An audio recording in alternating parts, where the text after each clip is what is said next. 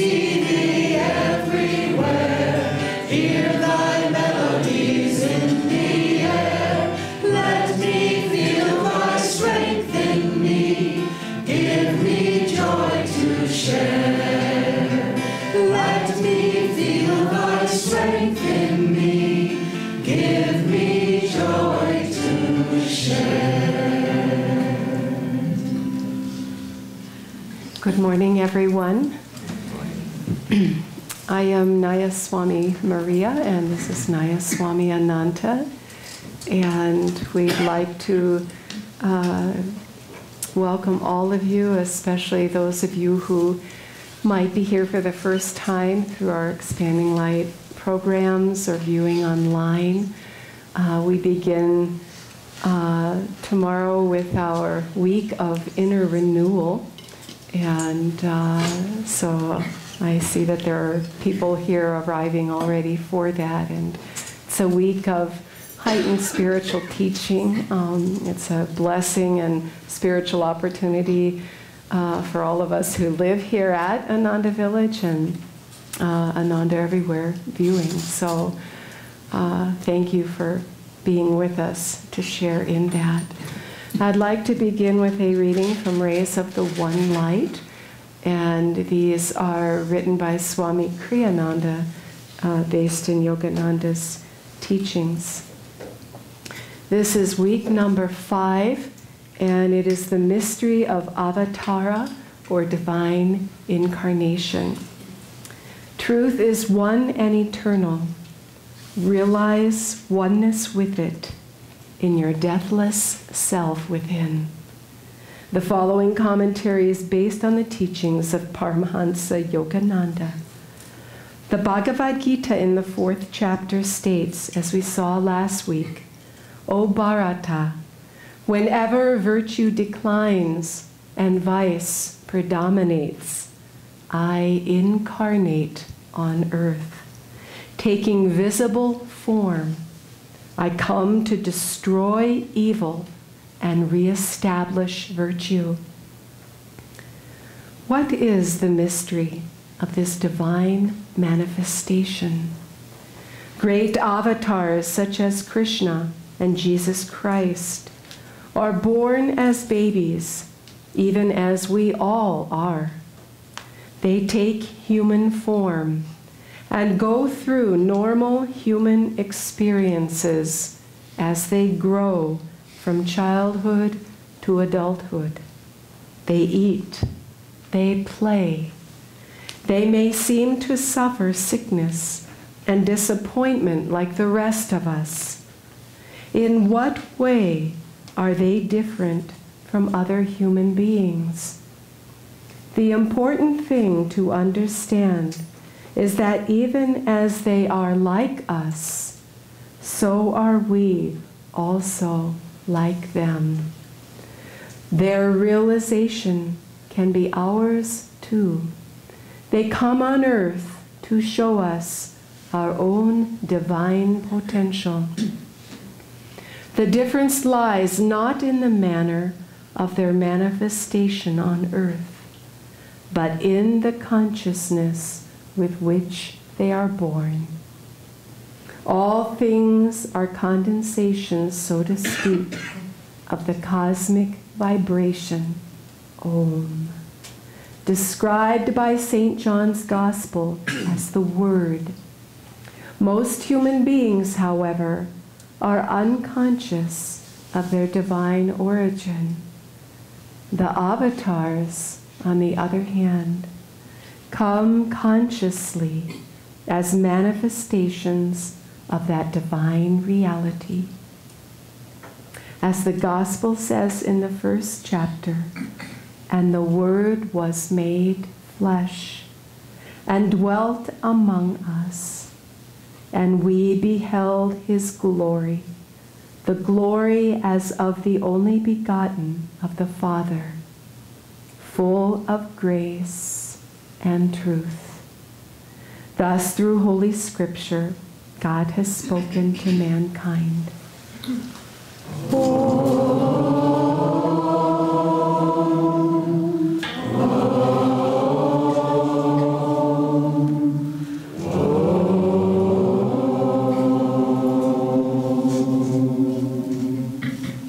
I would like to read a passage from Whispers from Eternity. This is a book that Yogananda gave us. And I would like to read a prayer called Prayer Demand for Removing the Cork of Ignorance.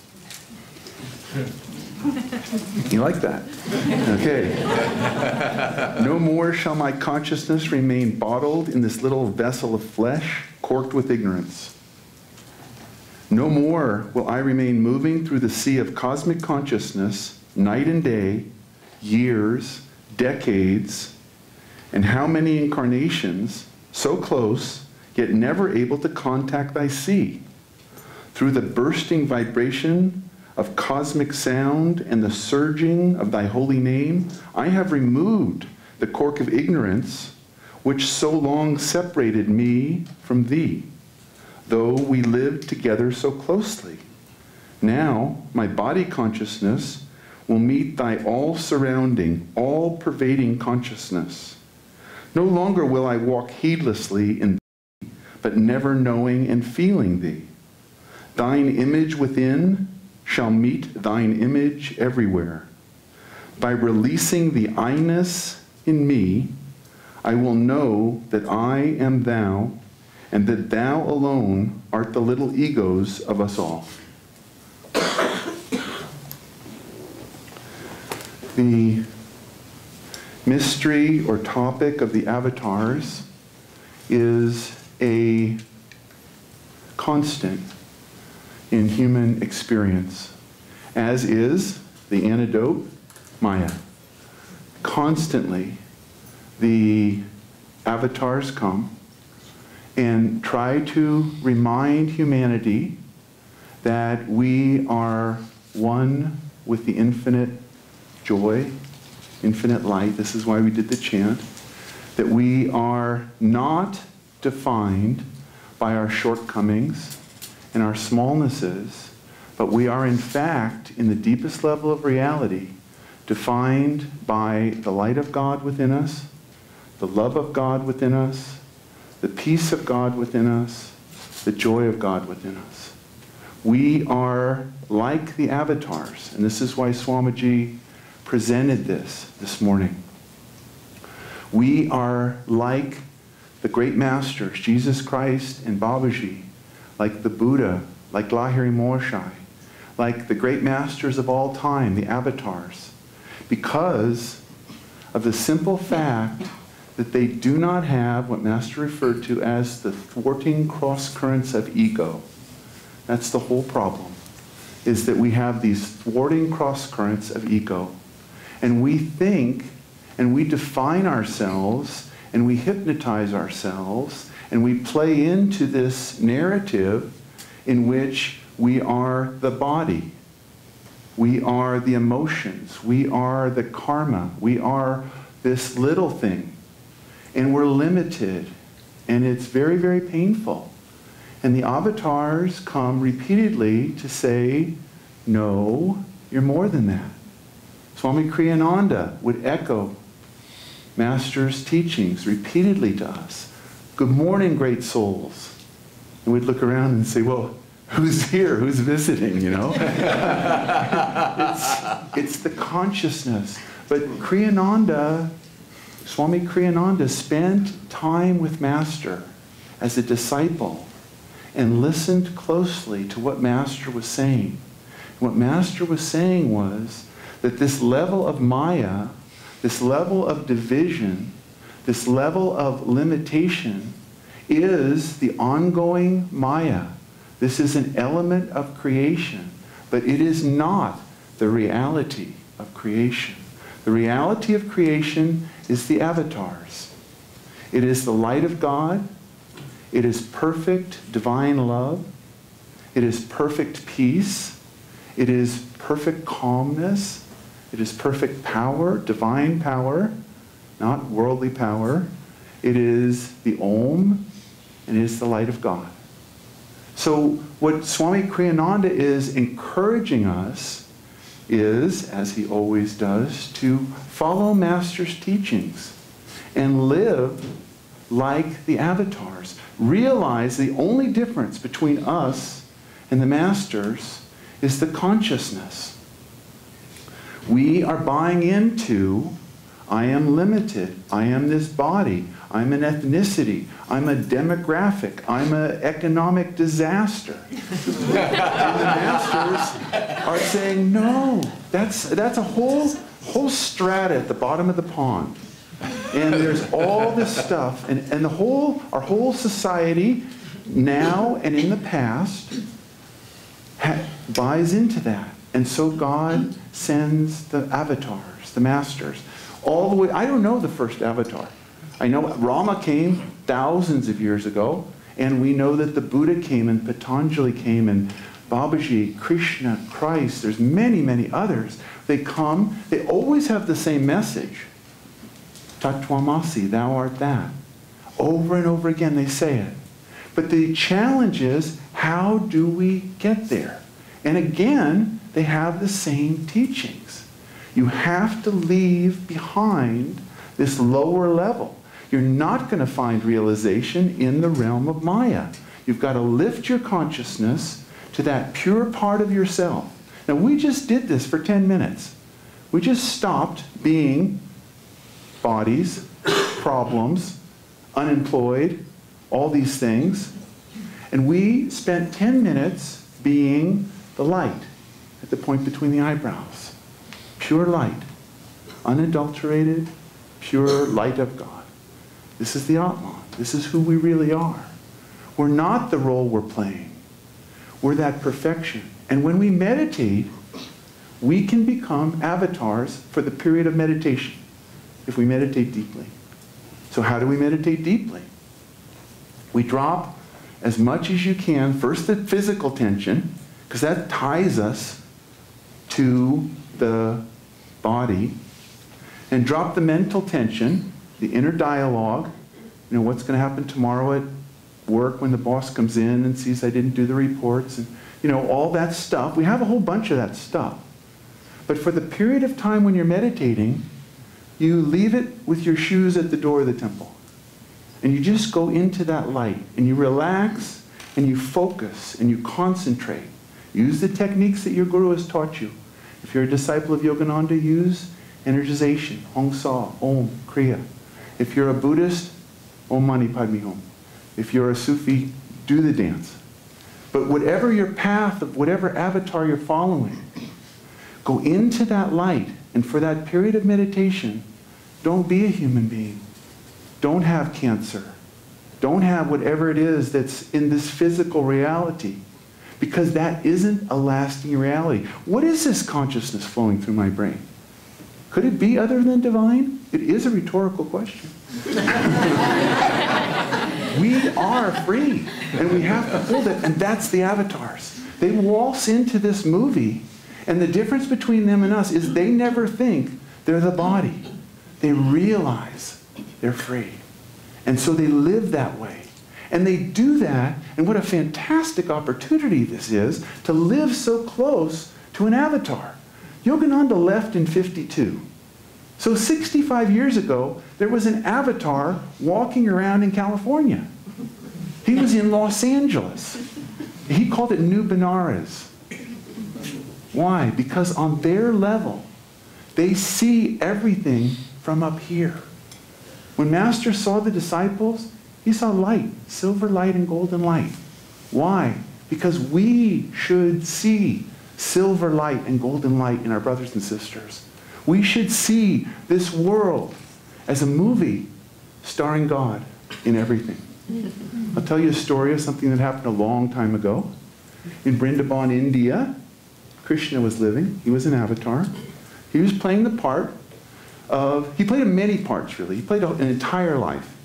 And from the moment he was born in prison and was freed from that till the time he left, he played all the parts of the human existence. He was a, a teacher, he was a warrior, he was a king, he was a cowherder, he was a baby. Go, he was called Gopala when he was a baby. Then he was Govinda, keeper of the cows. Well, he was an avatar. He was trying to show us how do we live in that light, in this milieu that we live in. It's the same. In their village, in their town, they kept cows. They milked the cows. They didn't eat the cows.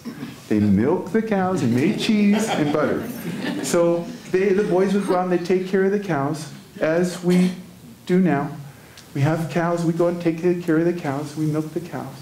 So Krishna would play with the boys and the girls, and, and he was just loved because he was an avatar. He was radiating divine love, but playing the part of a normal human being. And they loved him and they were paying attention to him. So the creator of the universe, Brahma, was there, and he was thinking, why is all the attention going to this Krishna? I'm the creator. I'm Brahma. I'm the creator of the universe. What's with this?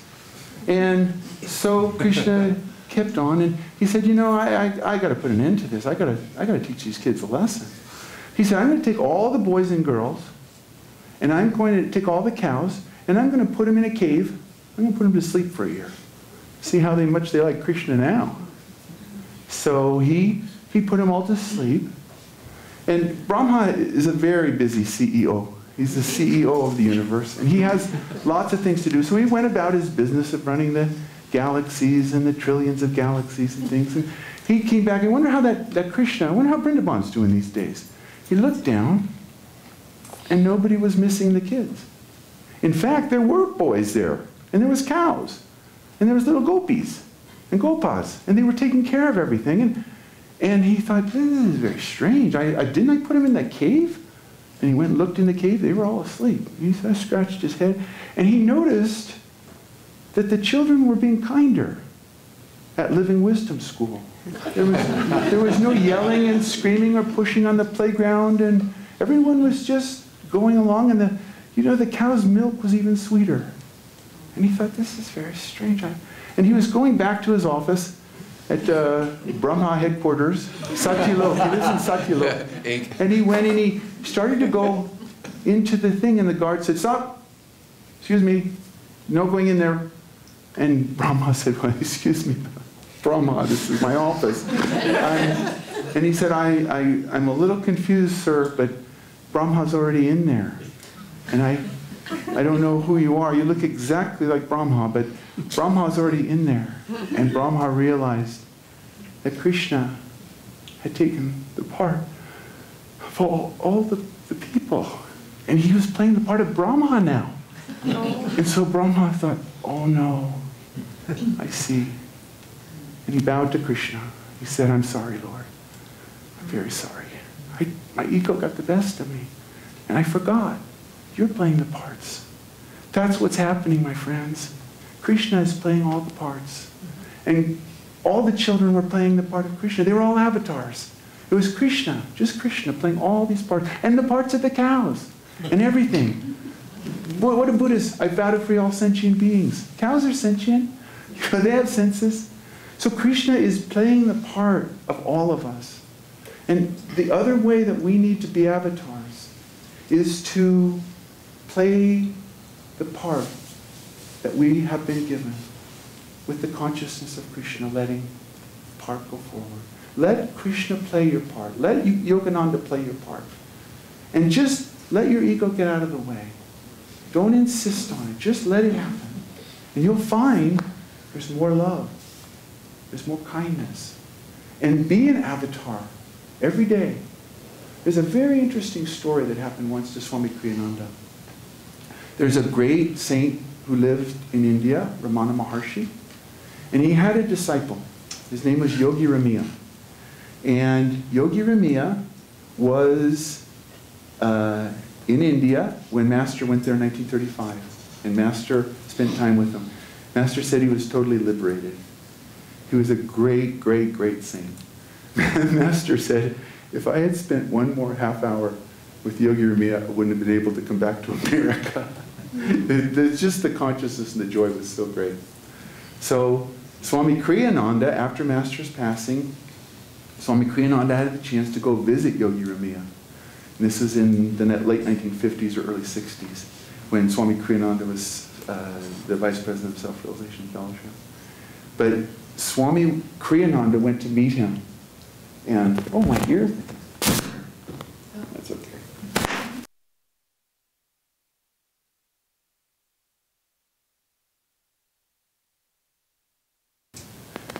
So, Swami Kriyananda went to meet Yogi Ramaiah. And he lived in a little village. And there was a few boys there. It a little teeny ashram. And Swami Kriyananda could feel this immense spiritual power. He was completely liberated soul. And Swami Kriyananda said, excuse me, but why aren't you out lecturing? Why aren't you giving talks in Delhi and Mumbai and what what's you're so free. You're, what a light you are. Are you writing books? Are you you know what are you doing? And yogi ramaiah looked at kriyananda and he said god has done with this body what he will. And swamiji got it. That swamiji's assignment in life was to give lectures and to start the world brotherhood colonies and to write the songs and to spread the teachings of kriya yoga. But yogi ramaiah's job it wasn't his karma. He was playing the part that God assigned him. Krishna is going to play every part in the movie. He's going to play your part. And if your part is great, wonderful, play it well. If your part is very insignificant, and you're the part-time volunteer janitor at the Living Wisdom School, that's great. Do it well. Let Krishna play it. Be an avatar. Be an incarnation. And if your life changes, and it does for all of us, and you are no longer the CEO of anything, or no longer this, or you are suddenly in a much different position, keep letting Krishna play it. Don't get in there with your ego. God has done with this body what he will. It's okay. Master had two liberated disciples while he was in the body. He had Rajarsi and sister, Gyanamata. Rajarsi was the CEO of a million things. He was an insurance tycoon and he was the head of a farming operation and all these things. And Master kept him there playing that part. Krishna wants you to play this part, Rajarsi. Be Krishna at work at these board meetings. And the other half liberated being was Sister Gyanamata. And she slept in the washroom on a cot. She never gave service. She never wrote a book. She never gave lectures. She was liberated. Why? Because your karma determines what you need to do in the movie. Be that. Be Lahiri. Be Yukteswar. Lahiri worked in an accounting office after Babaji gives him the palace in the Himalayas and gives him Kriya. He goes back to the office and he totals what the fares are on the Bengal Nagpur Railway. Mm-hmm. Really? Yeah. Why? Because that's where we are. We work in offices. We have kids at home. We get laid off. We have disastrous situations in our lives. Does it mean you're not an avatar? No. It means play it. Play it with Krishna. Play it with Master. Let him play it through you. And just God has done with this body what he will. Keep that meditation every morning and every evening. Be an avatar without any limitations. Swami Kriyananda referred to them as, the, as bundles of self-definitions. We've got these little things that we've written into our script. Well, I'm not very good at this, and, and I, gosh, I wish I had done this or that. They're all self definitions. But if you're an avatar, does it matter? Does it matter what the Maya is? It doesn't matter. What matters is that you are that light, the light of God, that you are that peace. That's what is important.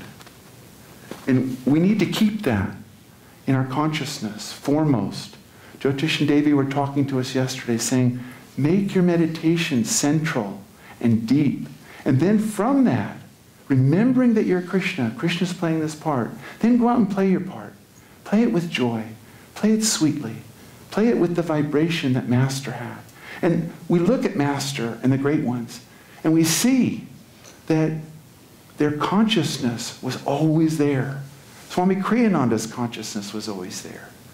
He was the disciple of an avatar, and he played that part, and he lived with us.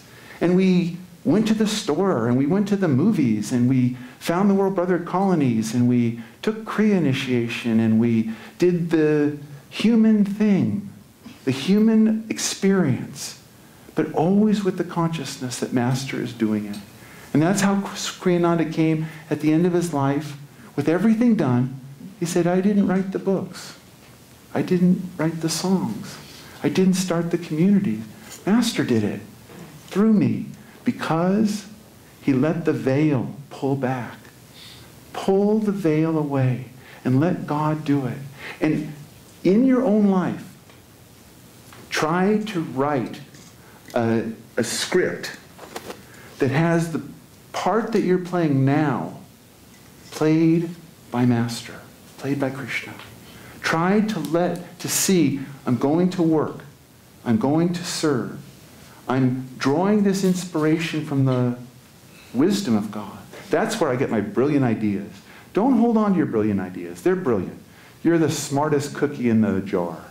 Okay, great. But where'd you get it? Yana, God. Where does the love you have for your children come from? Where does the love you have for your parents come from? Where does the love you have for this community come from? God. It's God flowing through you. It's not of your own creation. It's not of your own making. If we live in that consciousness, then we understand what Yogananda is saying. I killed Yogananda long ago. What a strange statement. But if we understand it, that there is no thwarting cross current of ego, then the movie becomes so much sweeter. Then everything flows and God is with us. And we realize we're part of that. And then when you go back to meditate, at the end of the day, you'll feel, I'm nothing that happened today. I didn't do anything. Master did it through me. It's a wonderful feeling. You know, the Temple of Light is over there at the end of the meadow. It's all built now. It's all paid for. It's all finished. Materials are there. What a wonderful, wonderful thing. That's what happens. That's how Master saw it. It just is a different perspective.